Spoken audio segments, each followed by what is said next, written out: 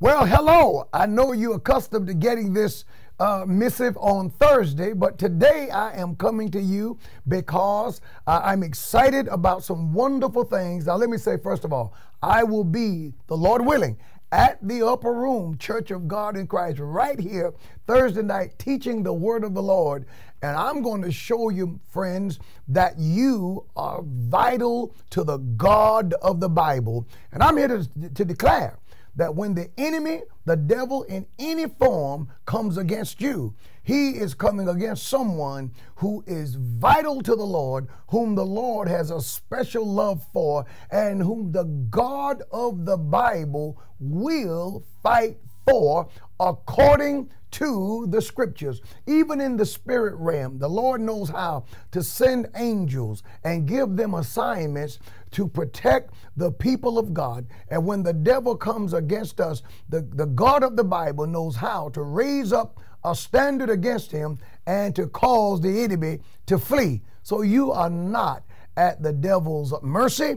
You are not at the mercy of the weather, of the times, of the mores in which we live, in the society in which we live. Listen, you are a child of the King, and the God of the Bible is alive and well, and He's moving on our behalf.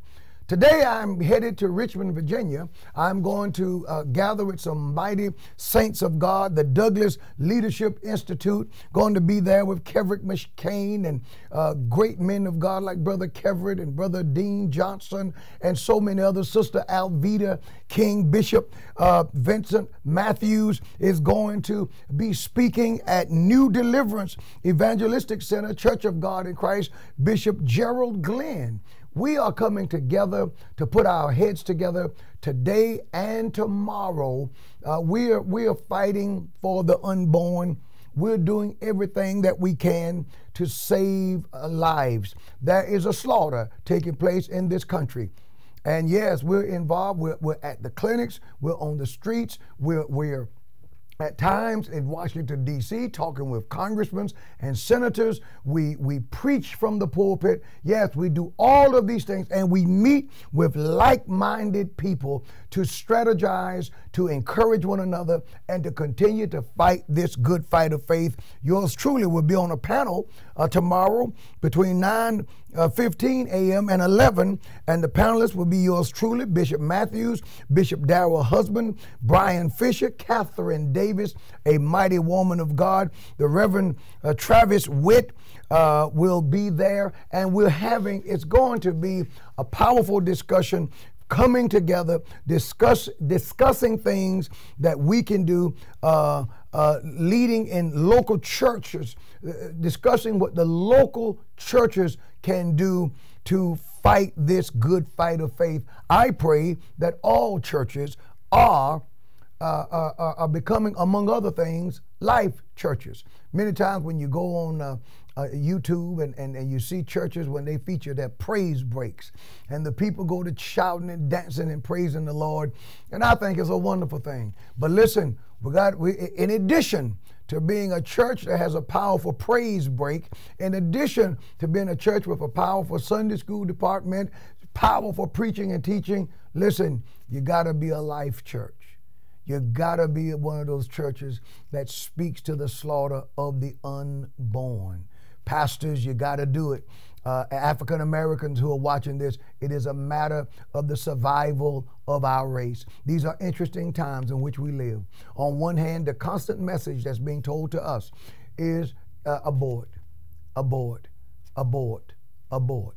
While at the same time, people are being brought in legally and illegally from other countries uh, repatriating, changing uh, the population of our nation. But the thing that that this one group, this one group of people, we African Americans, we're encouraged to abort our children. We're encouraged to practice behaviors that does not uh, give life. The growth of the LBGT, the growth of perversion, the growth of this stuff.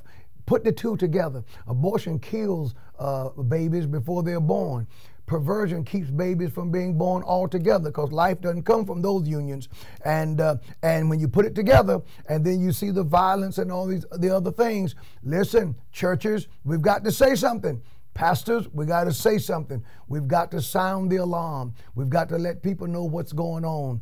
And uh, this, this, conference with the uh, uh, the, the, Douglass uh, Institute, um, Douglass Leadership Institute, uh, ad- addresses these issues. So we will be in place tomorrow night. Great things are happening. Uh, Gary, I probably wasn't supposed to tell him about this, but my projectors are being uh, installed as I speak. You know, I told you we've got some big projects going on here at the church, and uh, one of them is we're doing an upgrade on our projectors. And I was out in the sanctuary this morning and looking at the new ones. They're here, uh, and they're paid for. and they are being installed. So hopefully, uh, the first uh, uh, uh, uh, portion of the installment will be done. We have new screens, just different things that we're doing to make the house of God better. I love you. I thank you for your prayers. I thank you for your support. Meet me here at the Upper Room Church of God in Christ tomorrow night. As you can tell, I'm fired up. One of the reasons I'm so fired up, I got to close, but we've just come out of this awesome women's weekend. The conference was amazing. Again, my hats off to my lovely wife and the women's department of the Upper Room Church of God in Christ for doing such a great job. Uh, evangelist Frances Kelly, Mother Frances Kelly. We're going to be airing her, 85 years of age. Oh, she preached and closed out the women's weekend with a bang. First Lady Valerie Quick was awesome at the uh, luncheon last Saturday. And last Friday night, my wife preached the Word of God with power and authority. The panelists did a super job Saturday during the luncheon. It was amazing. We had over 430 plus, maybe 450 women out Saturday for the luncheon, and I, I was one of the. Uh, they called me up to be a part of uh, one of the panels, and I'll be honest with you, I was nervous. I was more nervous to get up and be a part of the panel and speak to all those ladies than I was to preach in St. Louis before thousands uh, there at the convocation. The women of God are special, they're precious. Again, hats off to you. Keep up the good work, and we will see you here at the upper room Church of God in Christ for Bible study. Yeah, Bible study. I'm not advertising a concert. I'm not advertising a carnival. I'm not advertising a hot dog sale. We're not talking about chicken dinners and fish sandwiches. I'm talking about Bible study. Yes, Bible study. We're talking about Bible study. Bible study. Come out to Bible study. Bless you.